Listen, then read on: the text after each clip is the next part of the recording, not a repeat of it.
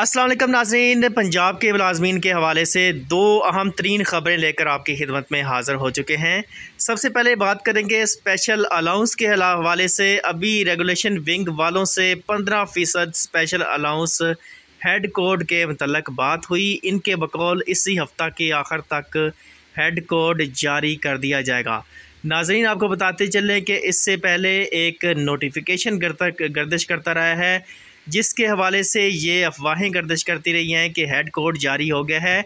दरअसल वो जो लेटर है, वो ए जी ऑफ़िस इस्लामाबाद की जानब लिखा गया था, पंजाब इंतज़ामिया की जानब से और हेड कोर्ट के अप्रूवल के बारे से, बारे में उनसे जो है वो दरियाफ़्त किया गया था।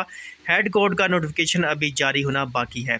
इसके अलावा बड़ी अपडेट है, सरकारी स्कूलों में सोलह हज़ार उस की बढ़ती रोक दी गई। मकमल ख़बर के मुताबिक पंजाब भर के स्कूलों में एक लाख पाँच हज़ार उस की असामियाँ खाली हैं। उस की भर्तियों के लिए एक समरी वज़ी अला को भिजवाई गई थी, लेकिन उस पर एतराज़ात लगा कर जो है वो समरी वापस भजवाई गई है। और अब ये इंतज़ामिया का ये कहना है कि ये समरी जो है वो दोबारा वज़ी अला पंजाब को भिजवाई जाएगी।